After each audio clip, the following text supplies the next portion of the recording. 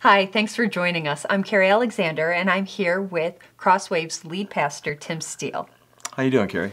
Good. Thanks for being here. Oh, looking forward to it. So, um, one of the questions I know you get asked a lot about is the brick and mortar churches. Mm-hmm. Crosswaves Church was started as a strategic mission, Right. not because you're against traditional brick and mortar churches, correct? Absolutely. That we we are not against any church. We're all on the same team. Um, we Crosswaves was designed for the person uh, who wants to know what the Bible says. However, they just don't want to go to church to learn what the Bible says. And there's a lot of people. Is what's a lot of people? Well, you know, church strategists say that up to 60% of North America, 60% of North America, and in North and just in the U.S. there's 330 million people, that 60% of North America uh, will not be reached by the traditional brick and mortar church. That's staggering.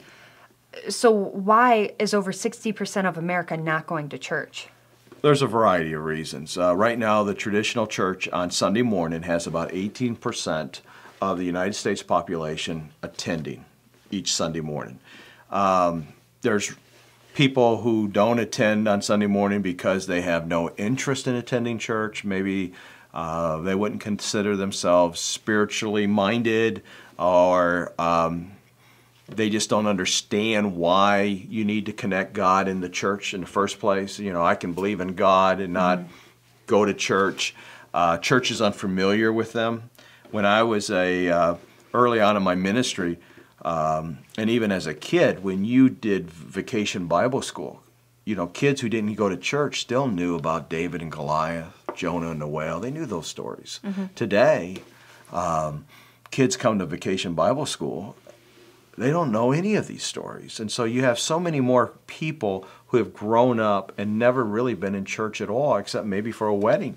Uh, funerals are being held less and less, even in churches. So people just aren't comfortable in being in a church. And then you got people who say, okay, I'd like to go to church because I really would like to know what the Bible has to say, but they're confused about all the different uh, denominational names and doctrinal differences.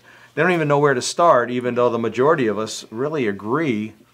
It's like three to five percent we disagree, and it's not even important stuff that we don't agree on. Yeah, I can see people being confused about the different nom- denominations. So, any other reasons? Yeah, um, this is a big one. A lot of people just don't see the purpose for the church.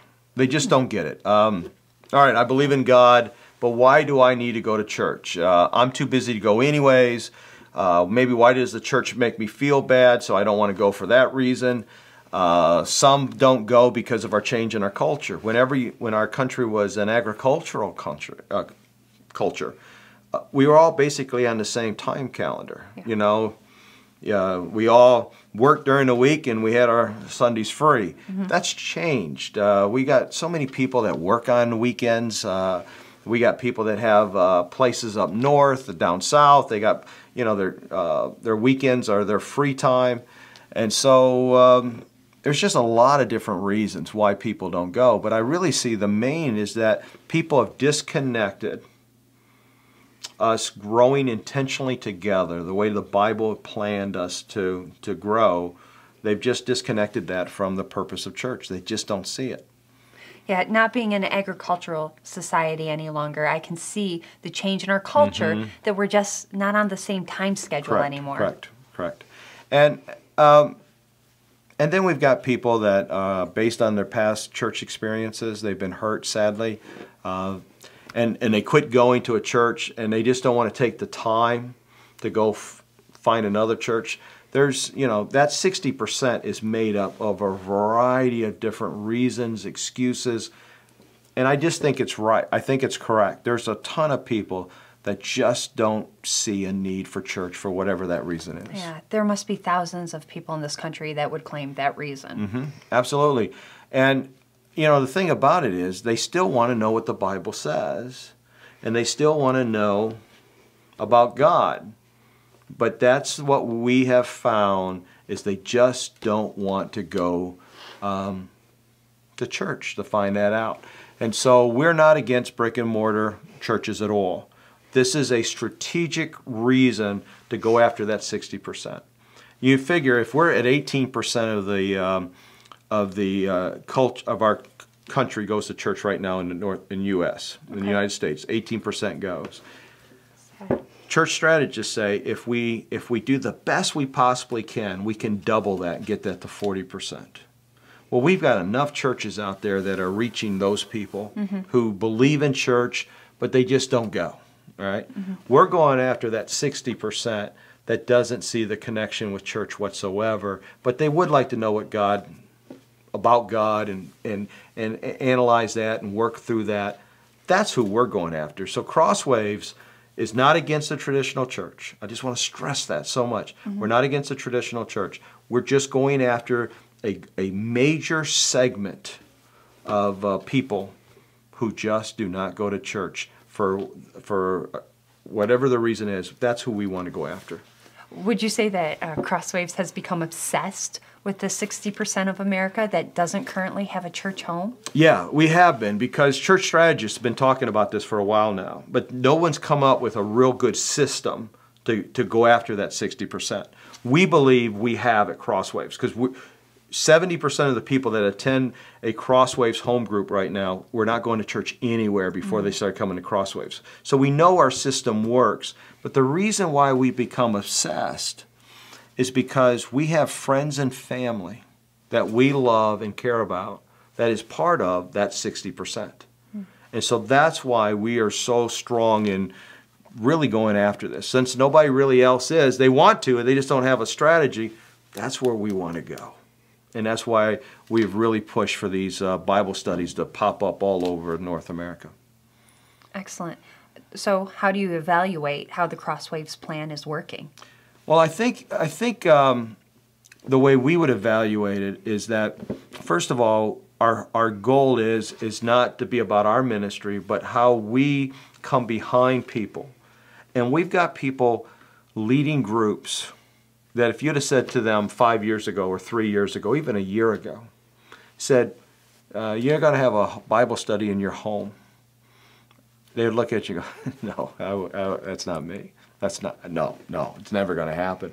So for us to be able to have these homes all across North America where people are having a Bible study, mm-hmm. literally having a Bible study, and having people sit in this Bible study and talk about how God is changing their lives. And if you wouldn't have opened up your home, um, that person wouldn't wouldn't have the relationship they have with God today. That's how we th- that's how we evaluate it, and and we just think it's working very very well. You mentioned earlier that 70% of Crosswaves members were not attending church somewhere else. Why is that percentage so large? Uh, that's a great question. There's several reasons, Carrie. One, people who do not grow up in church feel more comfortable in a living room than in a church. Mm. They have one of those. Yeah. You know, there you go into a church.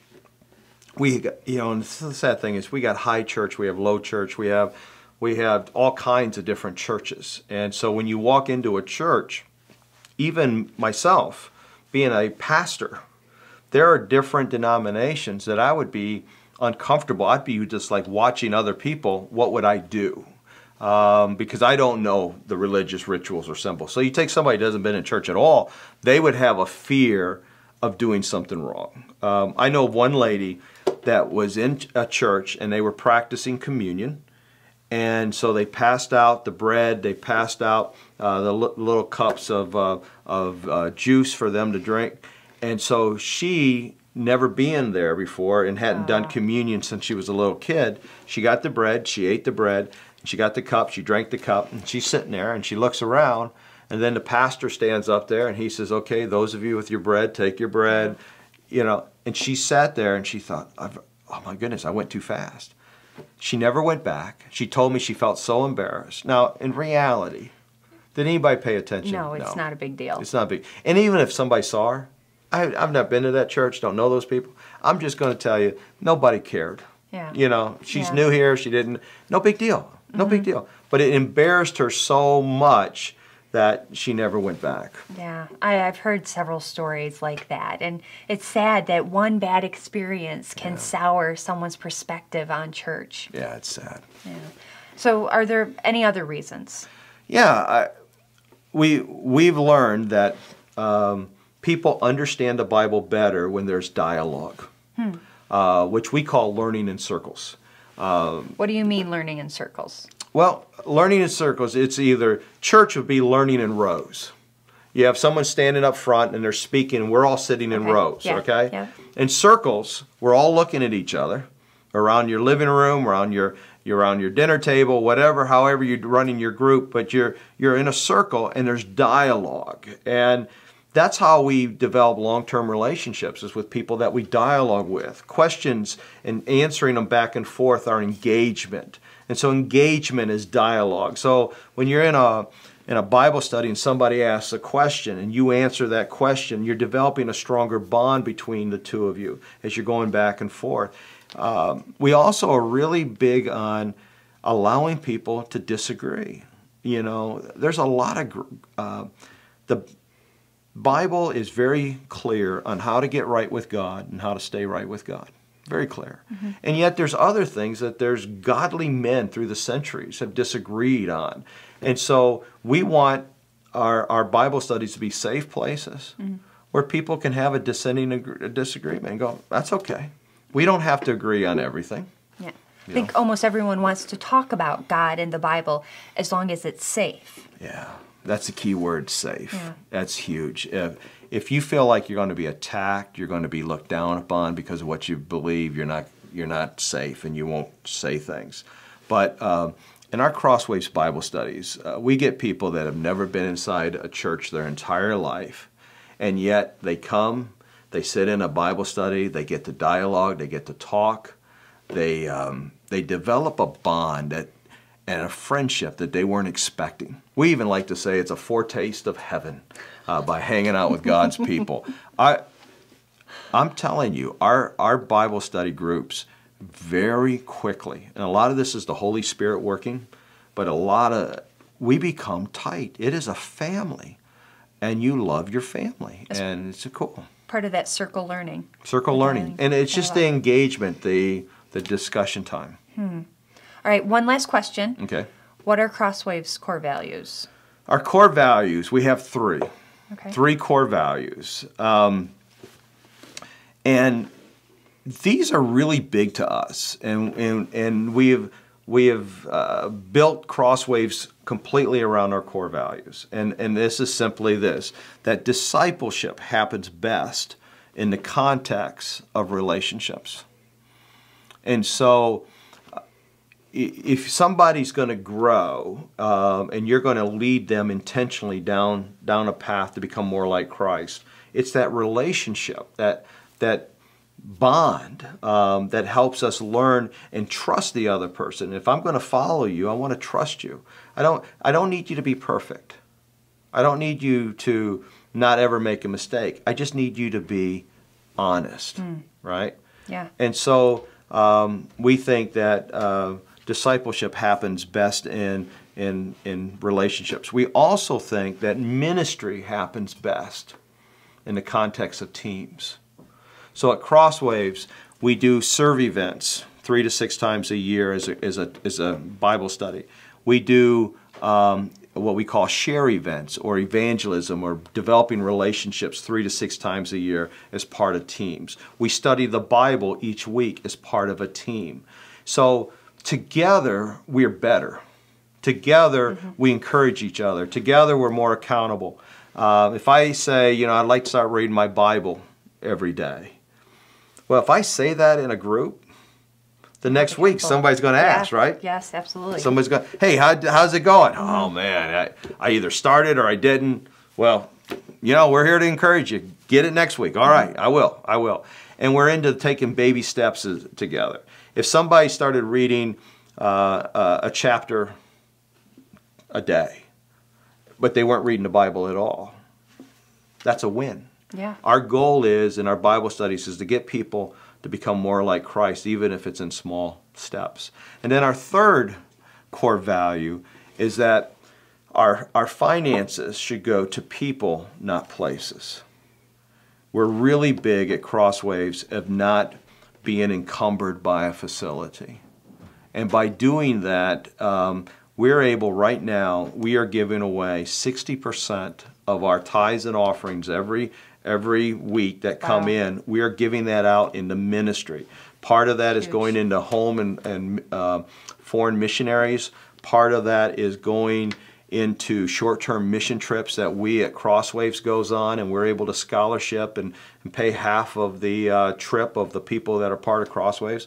And part of that stays within each home Bible study that they can spend in their community to bless it any way that they would like. But uh, we're giving away 60%. I don't know of another church in North America that that much percentage is given outside of the church. My goal is before I retire is that we are giving 90% or more of our money to ministry, helping people and not building up some huge church. And again, this is not meant to be a knock because we've been talking about how we're not against the, the traditional brick and mortar church. But for us, You're able to do that because you're not a traditional brick and mortar church. Yeah, we want our money to, to really help people. And so we're, we're just thankful that we have a system that allows us to do that. And uh, God has really been doing some really neat stuff. In fact, in the last uh, two years, we've been to Thailand, South Africa, and Kenya on mission trips. And it's just, it's awesome. It's really awesome. But those are our core values. Discipleship happens best in context of relationships. Ministry happens best in context of teams, and our finances should go towards people, not places. And so everything we do are built around those three core values. Great. Thank you. Thanks for watching. You can watch for more videos on the website. You can find videos on mentoring and how to start a home Bible study at crosswaveschurch.com.